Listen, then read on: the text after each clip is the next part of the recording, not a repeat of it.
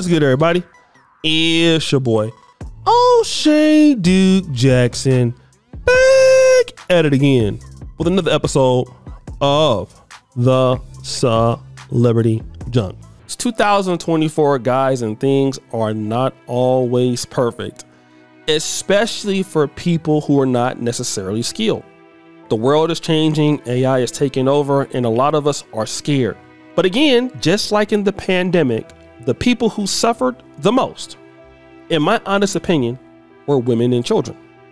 A lot of guys who had manufacturing jobs and things like that, they suffered here and there, but a lot of the trades guys were still working and making money. A lot of the office and clerical guys and, and women too had a lot of shortages and you know it was very difficult and that's why we saw so many ladies trying to find alternate forms of income this is not every lady but obviously we saw a big jump on hmm, OnlyFans.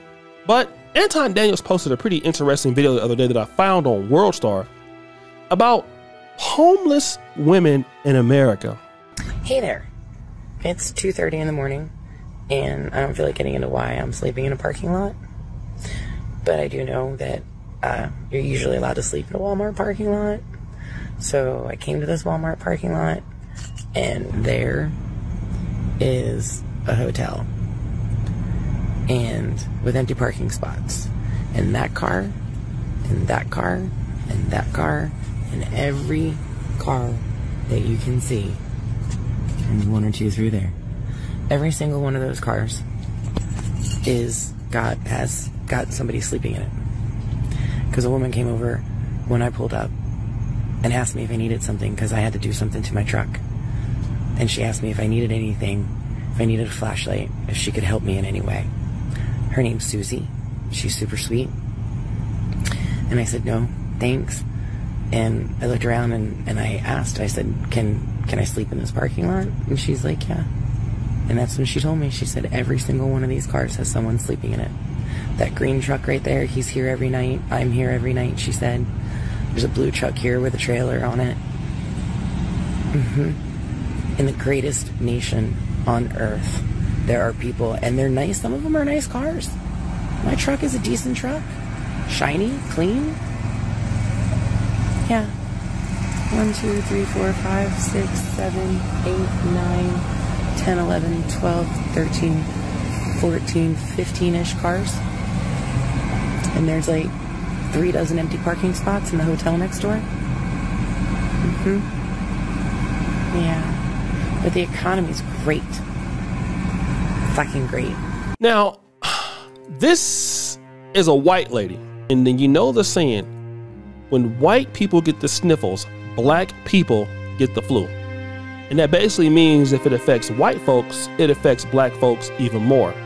And then we come to this situation. Melody Rivers was evicted from her home in 2019, shortly after finding out she had precancerous polyps and had to have emergency surgery. She was laid off from her job. When she came home from surgery, she had received a three day notice to pay her rent, and after pleading her case in court, was evicted from her home.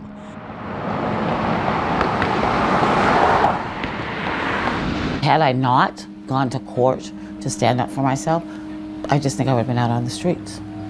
And I wrote a simple letter, very simple, plain letter. This is what happened. I have short term disability. I'm waiting for their approval to issue it. I have this amount of money in cash on hand. The VA administration will pay you XYZ dollars. All you have to do is sign. Now, again, there's a lady out here who's going to actually blame black men for black women being homeless. He's tagging me in his post like it's not a simple explanation, which is y'all name are not on leases in order to get evicted. So of course you can't be included in this study. When your mama kick you out, Pookie, those numbers are not to be included in this study. A lot of y'all are felons. You can't even lease nowhere, right? So a lot of y'all have black women putting their name on leases just for you to be able to live there credit bad, can't pass the income verification.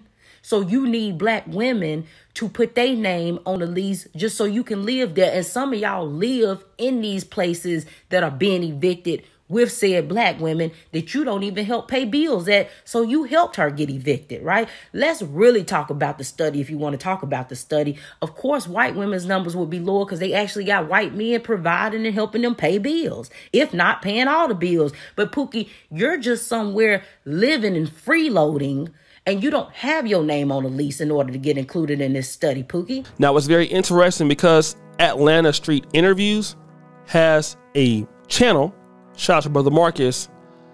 And most of the people that you see on this channel are homeless black women. Of course, you see some men here and there, but the majority of them are homeless. And why is that? Well, first of all, most women have to care for not only themselves, but for kids. All right. Um, it's hard to take care of kids and find work and work and take care of kids. And then also, what happens is a lot of women are on that sort of independent type hype, which is nothing really wrong with that. I mean, it's okay to be independent as a woman, but a lot of women don't understand uh, the value of being in, in, in communities, and that's even men too, especially in the black community. We try to do it us against the world type of thing, and that really just doesn't work. Um, it's not a good, conducive attitude towards being successful. It just doesn't work like that. And so we need people around us. And a lot of times when women believe that, you know, hey, you know, if me, if me and the guy break up or the guy doesn't have the right characteristics and he leaves, I can still do very well without him. The reality is that some ladies can do very well without the guy, but not really. Right? Even me as a small business owner in the YouTube space, a lot of my success is based on other people's efforts. Right? That was much different when I had a job. You know, when I had a job, I just didn't need to depend on other people all like that. Uh, basically, I just went to work. That was my income. I worked out, and that came, you know, came home. And um, I needed extra money, I would work overtime. But I didn't have other people that I needed to depend on to get to where I'm at there would be no way for me to put out these many videos or to be able to collaborate with people or just you know be in the content creator economy if number one i just didn't invest and number two i just didn't pay people. I wouldn't be able to have you know dima and, and spk and the other guys that work so hard elix peter those are the guys in Brivian who helped me create such valuable content. I wouldn't be able to do any of that. That is necessarily not the case with a lot of women. Women get a job that may not be you know, paying that much money. They don't have um, a, a, a, spouse, you know, in today's world that could be male or female, or a companion that can help them. And so that puts you on the verge of being homeless, especially if you live in expensive cities like Seattle. You live in expensive cities like San Francisco. And then as you get older, you know, um, you don't go out as much your dating opportunities might not be as vast because you have less time or because you just feel like you're wasting your time in the dating market. And then here's the elephant in the room. You may never have worked on what it takes for you to get the kind of man that you want. And that's a big problem for a lot of uh, uh, ladies. You know, they feel that they should get what they want, and then they don't really understand that, you know, they haven't done so. Because they haven't done that research, they can never qualify for the men that they're looking for. The guys who can provide. And then so you go around blaming guys for you not having what you have. And now, you know, you overspend, um, you're not managing your money correctly. You know, you you know you need to look nice, you need to look good, you know, you need to go out there and show things that and you're not fiscally managing your money. It adds up. And it does add up into homelessness.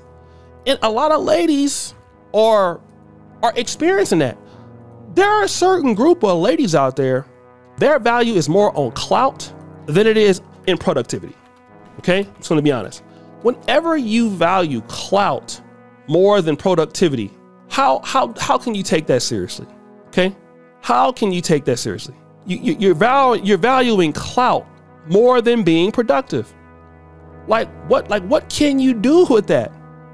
And this is exactly what you see so often in the black world, especially among younger ladies. It's, you know, I want to look rich. I'm not actually trying to be rich. I'm not adding enough value into people's lives. And when you can't add that kind of value into people's lives, you just get you just get no opportunities. And missed opportunities, they add up and they add up and they add up until one day those doors close, whether it's dating or financial, and you haven't taken enough risk to get your put yourself out there, and boom, you know, no mentorship, now you're homeless. It can happen to anybody. You know, everybody is at risk for that. But you got to be valuable to so many people now. You know, if you want to get a husband or a wife, you have to be motivated a lot to do very well. And that's just not the case with a lot of people. So, guys, what do you think? It's your boy, D Jackson, back at it again with another episode of The Celebrity Junk. I appreciate you for all that you do. Subscribe to the bell. We're out. Bye.